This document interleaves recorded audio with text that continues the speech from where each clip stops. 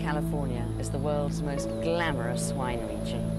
A new Eden, vines as lifestyle statement. A place in which nature has apparently been harnessed to provide those who've made a fortune elsewhere with the ultimate gratification, a stake in the truly elemental process of wine production.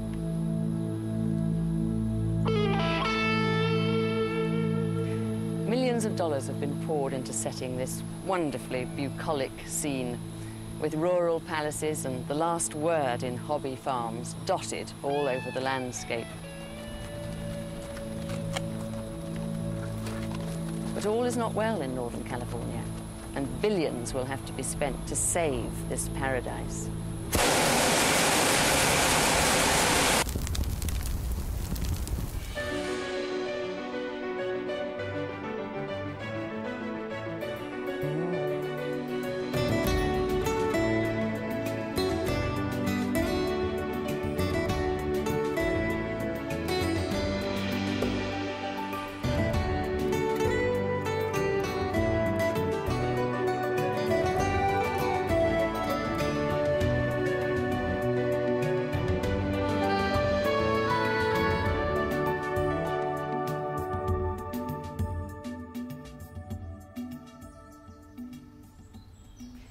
California's wine industry has been buffeted by natural disasters and human fads ever since its first wine boom in the 1880s.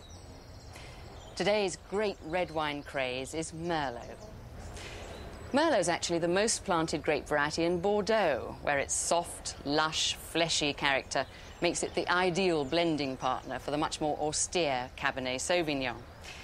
In its Bordeaux homeland, it's most famously responsible for Pomerol and much of Saint-Emilion. But it's been adopted with a vengeance by American wine drinkers who see it as Cabernet without the pain. The pain associated with the astringent tannins in so many young Cabernets, which can literally tan the insides of your cheeks like leather. In theory, at least, Merlot offers the thrill of Cabernet without having to wait for years for, while the tannins soften. And how could a wine which offers immediate gratification fail here? California's restaurateurs, wine producers, wine retailers, nurserymen all agree that the one wine that can sell itself, for the moment at least, is Merlot.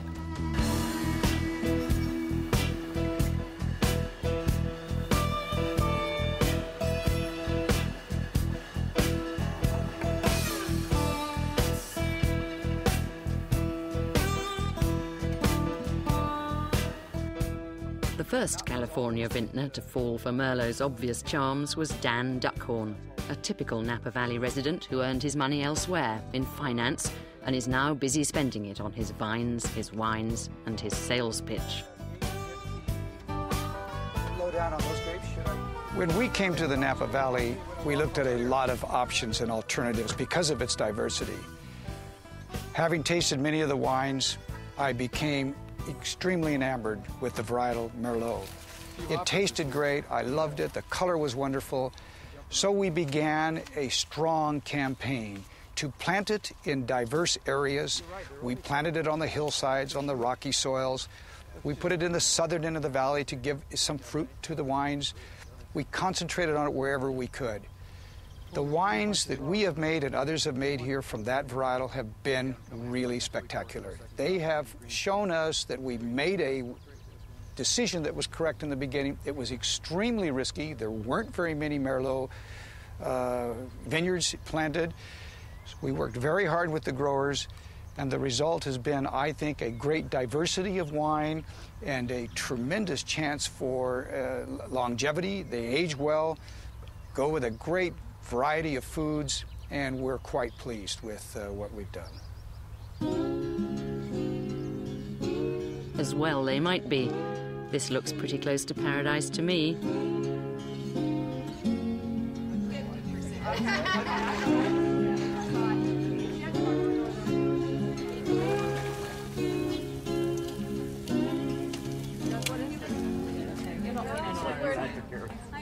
In the Napa Valley, it's quite diverse. It lends itself to a lot of outdoor entertaining, which we do. Um, and I think uh, many of us don't leave. We, we travel, we have to. I'm probably on the road a third of my time. and I can't get back here quick enough. Well, it uh, has fantastic weather, beautiful weather. Uh, it has the added uh, romance of the wine tradition and the wine growing and wine making tradition. It's but an hour away from a wonderful city, a beautiful city, attracted by you know the, the aspects of good living that the Napa Valley, uh, you know, fine food and fine fine wine. And I think really three, four thousand years ago there were many uh, happy people living here, uh, various uh, Indian tribes that found this a very uh, benevolent place, and it just was a great decision that I made, you know, those 15 years ago.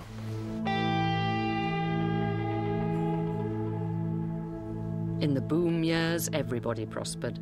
The magic combination of wine and culture, so close to San Francisco, brought tourists in their droves, who demanded greater and grander diversions.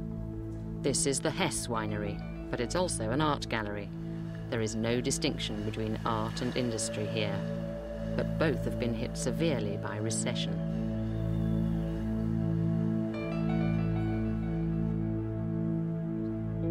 Northern California's not just been visited by hard times, it's been bitten by a bug, phylloxera, a vine-eating louse.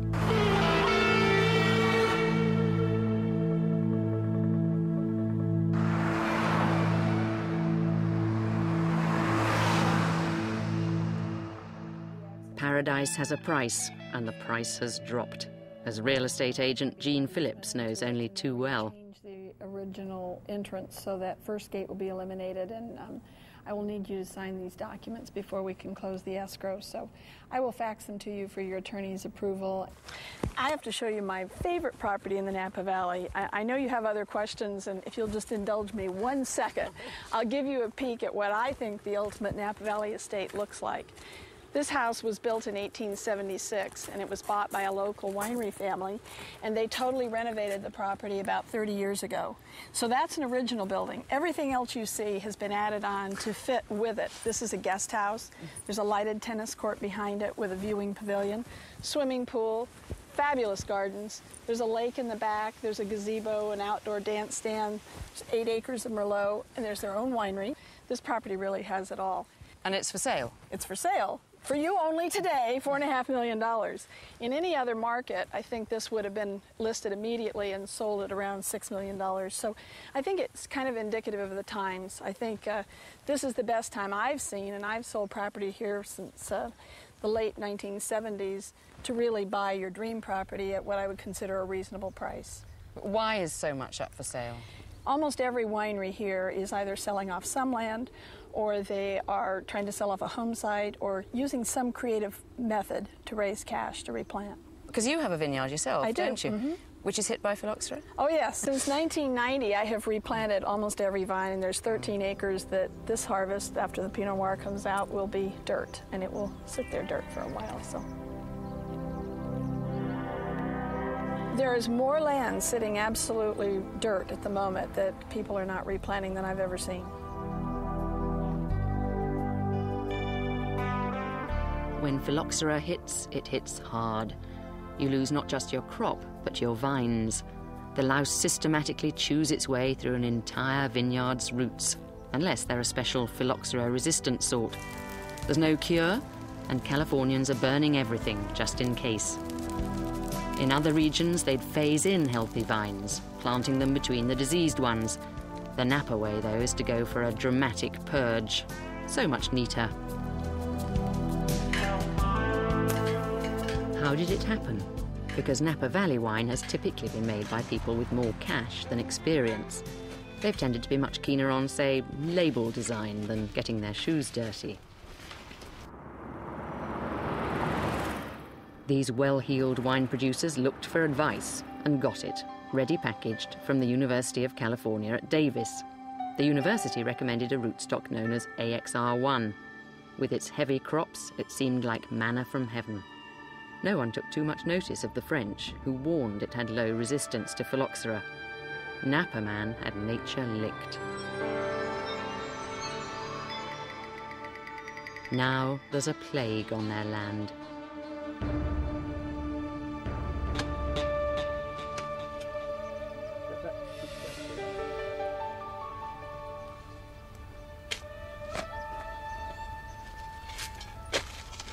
Okay, here's all of this yellow Mm. is a band of, of phylloxera eating. There's some It's tiny, actually, tiny, isn't it? Yeah. Just the end of a pinpoint there. All of these nodules here are where they've broken into the root and fed. This is what interrupts the, the uh, flow. And each one of these little nodules will have a group in their dining. So that's the infamous non-phylloxera resistant AXR1 rootstock, is it? That is the phylloxera resistant AXR1 rootstock. Non-phylloxera resistant. Well, it's non phylloxera resistant. It was sold to us as resistant. In 1968, I believed it. The reason why we planted that rootstock is because it was fairly productive and it gave us wonderful wines. Look back for 25 to 35 years, we, we received tremendous wines from that rootstock. So we were languish, languished in a happiness of euphoria and didn't want to change. What proportion of vines in California have been planted on AXR1? 80 to 90 percent. Probably the worst case is that we planted all one type of vine, uh, the rootstock that uh, in a, what we call a monoculture, where everything's the same. It allows for the chance of that particular little louse to uh, take hold, mutate, and, uh, and ultimately uh, uh, begin destroying the vines. We knew about it all along. We probably were not prepared as we are today. When did the authorities realise that AXR1 was going to be dangerous and offer a dangerously low resistance to phylloxera? Prior to 1980. Before 1980? I mean, uh, uh, we as farmers knew that we had a, a problem. We hadn't identified the problem completely. Uh, but we knew we had a bigger problem. We knew um, that AXR was not the rootstock that we thought we had. What are relations like at the moment between growers and the university? Uh, those who have acceptance um, are out on their own. Those who are still in, in denial are running to the university asking them for them to come up with a magic bullet. There's no magic bullets.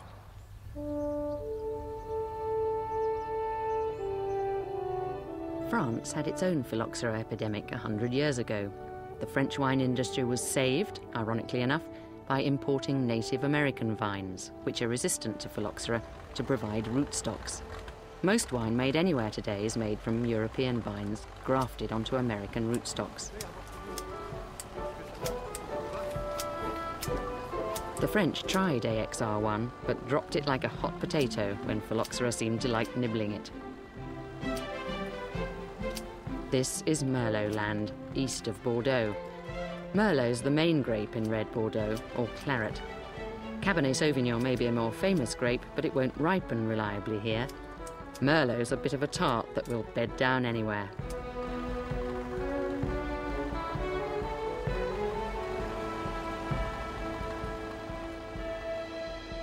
At the heart of Merlot land is Saint-Emilion, the region's one real tourist attraction. It's almost a Disneyland version of a French town. In fact, it was the English who built much of it 700 years ago when they ruled this part of France. Little seems to have changed since then.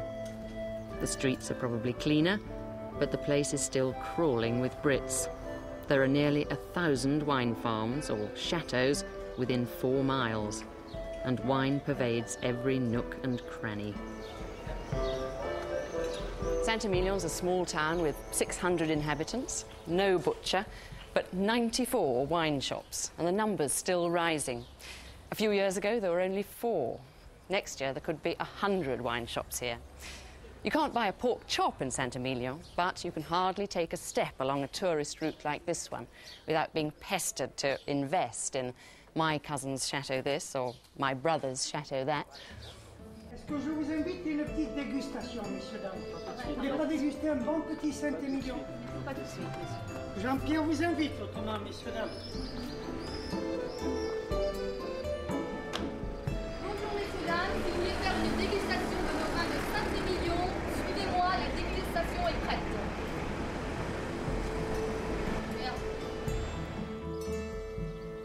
If Merlot is king here, then this is the king's physician. Michel Rolland of Pomerol is called in by worried wine producers who want to get the very best out of their property. Such are his magic powers and refreshingly hedonistic attitude to wine that consultations are sought far and wide, and he could barely spare me a minute between appointments. Uh, I, I, we, we, are maybe seven or eight people in the world to do this type of job, uh, to, to, to give advice uh, about philosophy of wine and to understand vines, to understand uh, vinification for each uh, kind of grapes. We, we are really uh, a small amount of people to do that. Today, Michel Rolland's paying a house call on Chateau Larmande near Saint-Emilion. It's been bought by a large conglomerate. The firm's pumped money in and put a businessman in charge. He's been told to make a profit in five years. And the simplest way to do that is to hire Rolland to flesh out his Merlot into the super ripe, oaky style beloved by the powerful wine critics. I try to find the best way to improve the wine, not to make wine because people know to make wine. But to improve the wine is uh, uh, a lot of small things uh, who can change the final result with a little difference. You know that in tasting you have a lot of good wine, but sometimes there is a big wine, the great wine. And why? Why? The, the result is better than the neighbor because uh, we, we, we have done the maximum. And I try to find the maximum.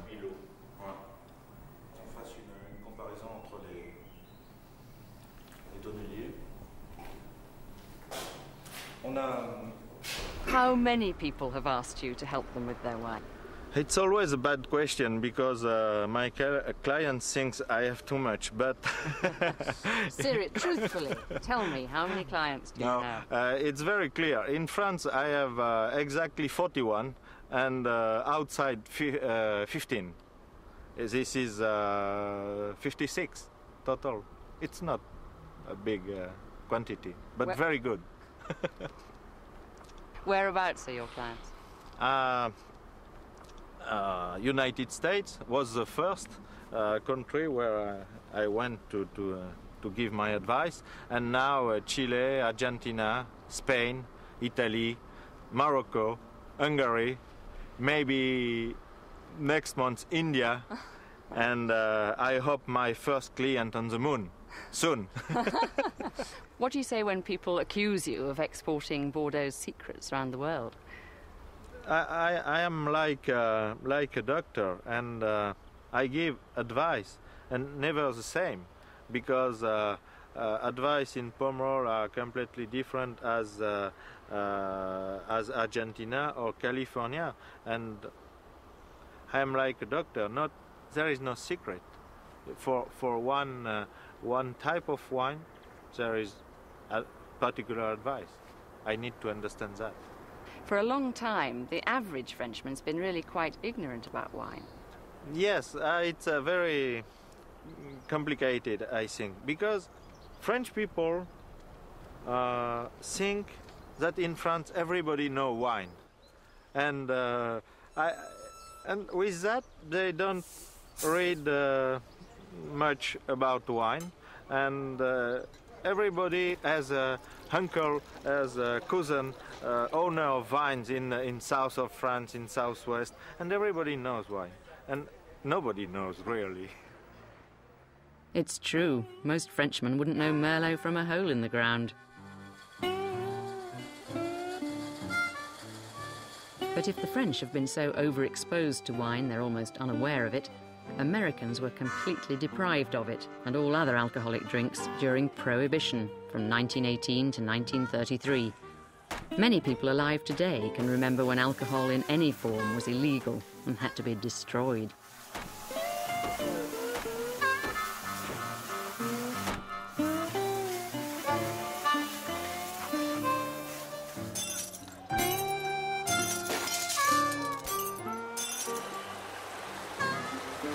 Even now, Americans can't buy themselves a glass of wine until they're 21. Parts of the country, although certainly not California, are still completely dry. The most constant reminder American wine drinkers have of continuing official paranoia about all things alcoholic is this, the government warning label, which all wine bottles have had to carry since 1990, including these first growth Bordeaux's, even Chateau Lafite at $145 or £100 a bottle. According to the Surgeon General, women should not drink alcoholic beverages during pregnancy because of the risk of birth defects. Consumption of alcoholic beverages impairs your ability to drive a car or operate machinery and may cause health problems.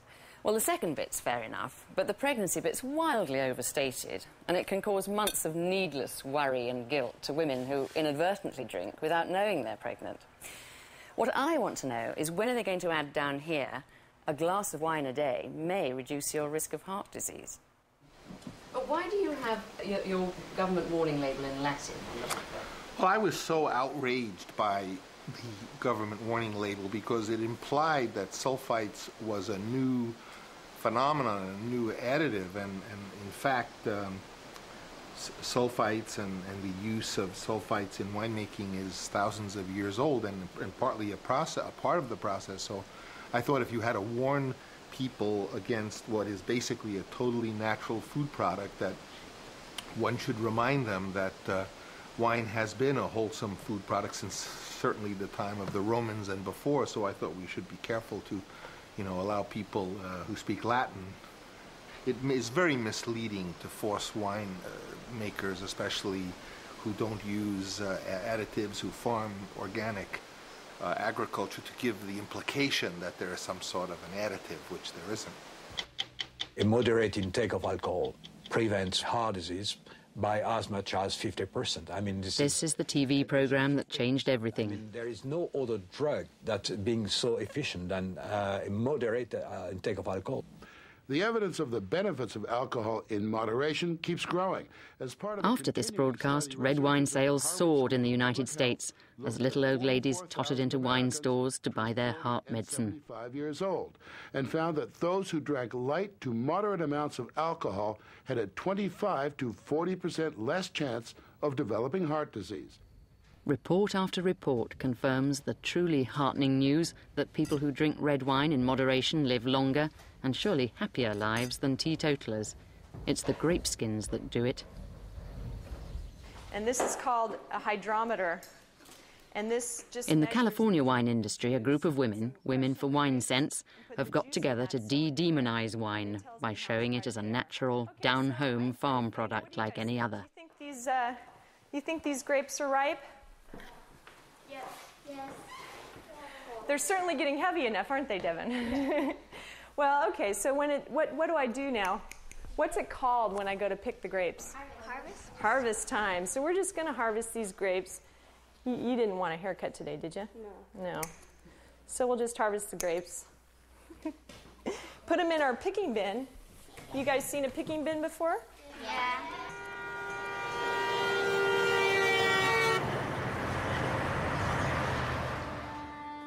To combat America's prohibitionist urges, California wine producers have deliberately played up wine's civilizing role at the table to distance it from those hoodlums drinks, beer and liquor. But Fetzer, America's sixth largest producer, has gone one step holier than thou by beating an organic drum. Their most successful venture is a five acre organic fruit and vegetable garden, but so far, less than 10% of the wines they produce are made from organically grown grapes, despite their publicity pitch and grandiose aims. We have a commitment that by the year 2000, all of the grapes in California will be grown without herbicides and pesticides. That's a very, very big vision. All the grapes in California? All the grapes in California. So it's not just about us, it's about making a difference in the environment. It's about making a difference in agriculture because we feel strongly that if if this works and we believe it is it is working we're seeing it work, we're seeing people change, that other industries will then see, oh gosh, that's what the wine industry is doing. Well, maybe we can do it with our lettuce, or maybe we can do it with our tomatoes, or maybe we can do it with our peaches.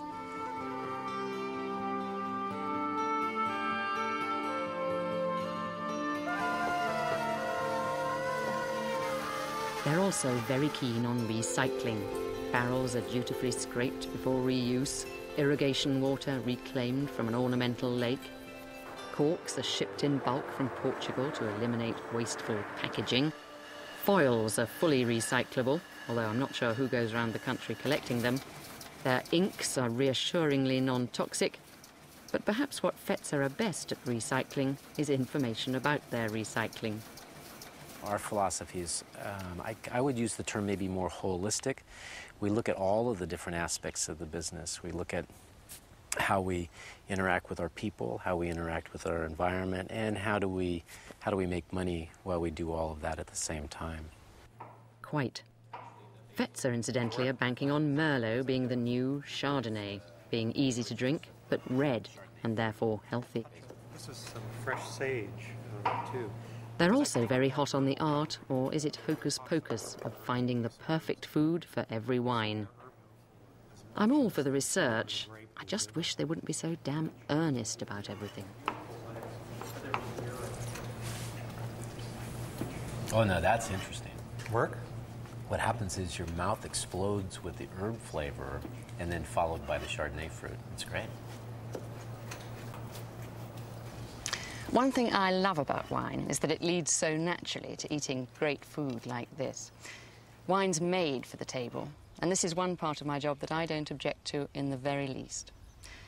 Another thing that makes wine special is that, like books, it's so closely associated with the concept of authorship. Wine's one of the very few products that you can pick off a shelf for not very much money. And just by looking at the label, you can find out where it was made, exactly where it was grown, and when it was made. In fact, it's quite possible to conceive of wine production on a small scale, quite unlike here at Fetzer, in which one person is solely responsible for the primary production, for the processing, for the packaging, for the marketing, even the selling. Perhaps that's why so many of us dream of owning our own vineyard. But you know what they say about making a small fortune in the wine business? The only way to do it is to start with a large one.